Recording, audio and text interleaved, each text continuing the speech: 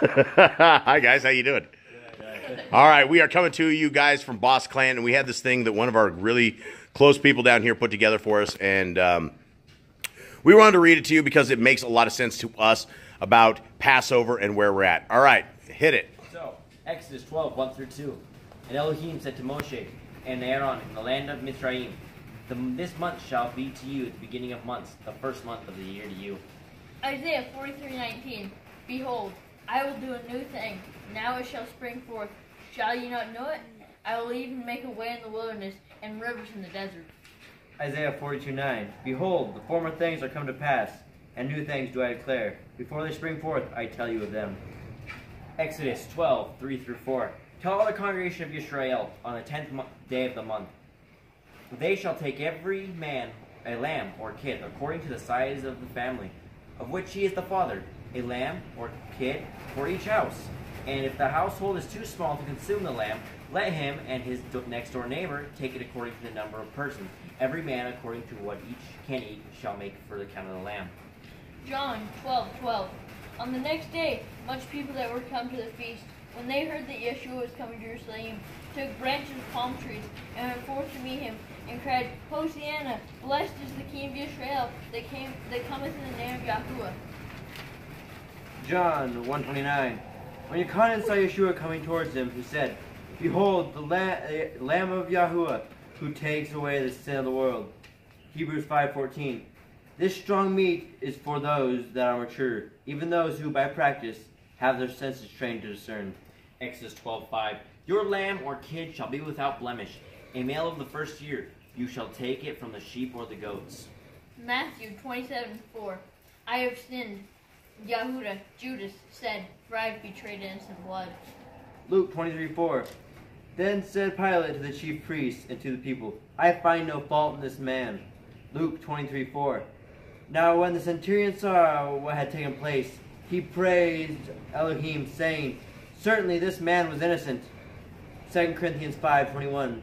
He who knew no sin was counted as sin in order that we might be the righteousness of Elohim.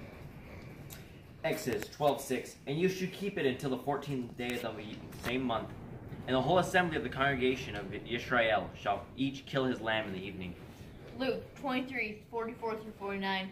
It was now about the sixth hour, and darkness fell over the whole land till the ninth hour, because the sun was obscured, and the veil of the temple was torn in two. And Yeshua, crying out with a loud voice, said, Abba, into your hands I commit my spirit. Having said this, he breathed his last. Now when the centurion saw what had happened, he began praising Elohim, saying, Certainly this man was innocent. And all the crowds who came together for this spectacle, when they observed what had happened, began to return, beating their breasts. And all his acquaintances and the women who were coming to him from Galilee were standing at a distance seeing these things. Exodus 12:7.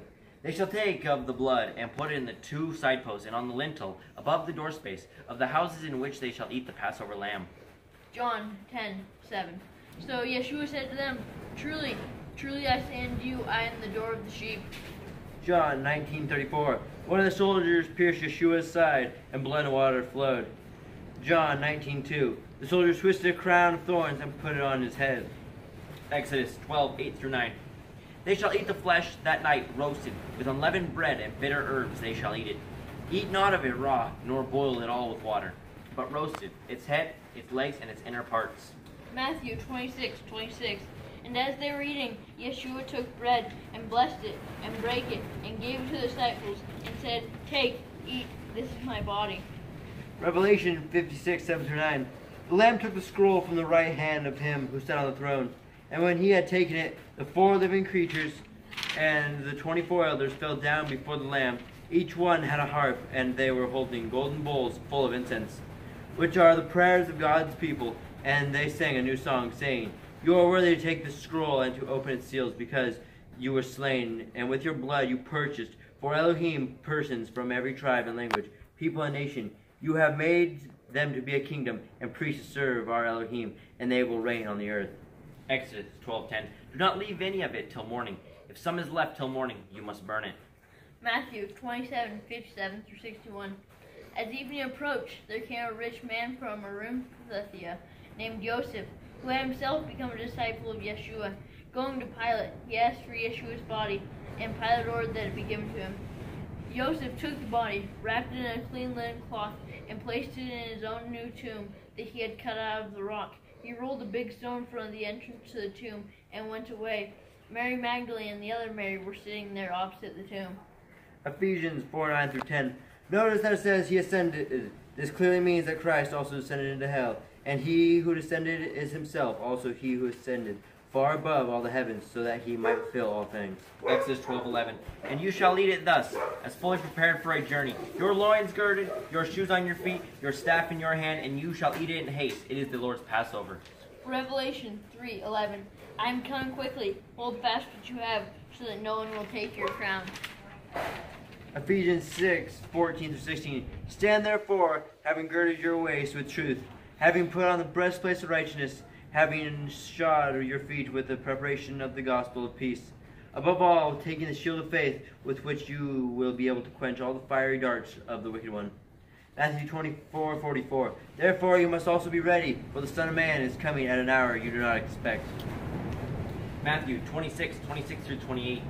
While they were eating, Yeshua took bread, and when he had given thanks, he broke it and gave it to his disciples, saying, Take this and eat it. This is my body.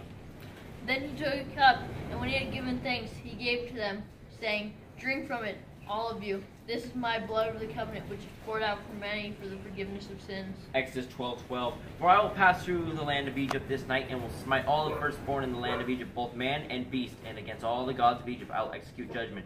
I am the Lord. 1 Thessalonians 5 9 through 10. For Elohim hath not appointed us to wrath, but to obtain salvation by our Adonai Yeshua HaMashiach, who died for us, that whether we wake or sleep, we should live together with him. Exodus 12:13. The blood shall be for a token or sign to you upon the doorposts of the house where you are. When I see the blood, I will pass over you, and no plague shall be upon you to destroy you when I smite the land of Mizraim. 1 Peter 1 18 through 19. For you know that Elohim paid a ransom to save you from the empty life you inherited from your forefathers. The ransom was the precious blood of Hamashiach, as of a lamb without blemish and without spot. Exodus 12, 14. And this day shall be to you for a memorial. You shall keep it as a feast to the to Elohim throughout your generations. Keep it as an ordinance forever. 1 Corinthians 11 26. Whenever you eat this bread and drink this cup, you proclaim the Lord the Adonai's death until he comes.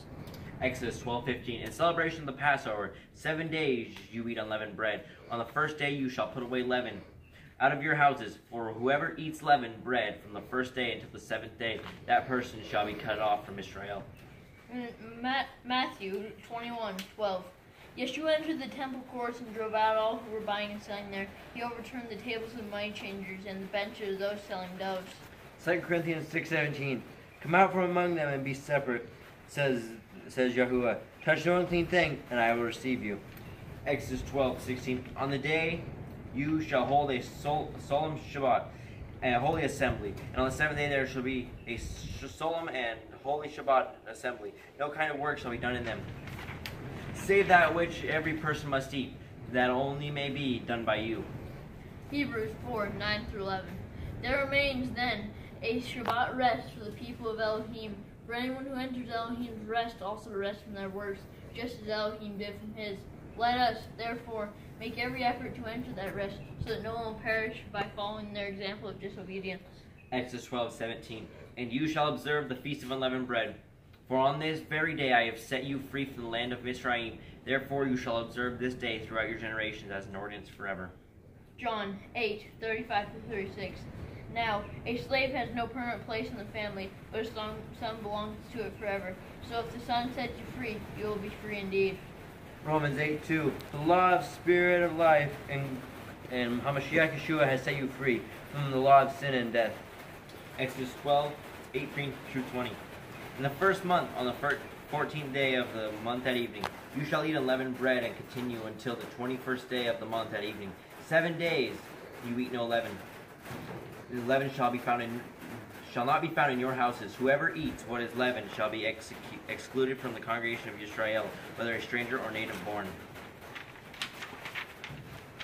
You shall eat nothing leavened in all your dwellings. You shall eat unleavened bread during that week. 1 Corinthians 5 7. Get rid of the old yeast, so that you may be a new unleavened batch, as you really are. For Hamashiach, our Passover lamb, has been sacrificed. Exodus 12, 21 through 22. Then Moshe called for all the elders of Israel and said to them, Go and take for yourselves lambs according to your families, and slay the Passover lamb. You shall take a bunch of hyssop and dip it in the blood which is in the basin, and apply some of the blood that is in the basin to the lintel and the two doorposts.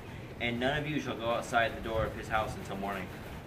Matthew 26, 28. For this is my blood, which, confirm, which confirms the covenant between God and his people.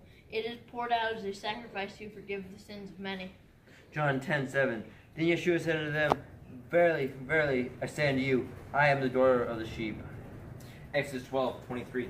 When the Lord goes through the land to strike down the Mitzrites, he will see the blood on the top and the sides of the doorframe, and he will pass over that doorway, and he will not permit the destroyer to enter your house and strike you down. Revelation 9, 11.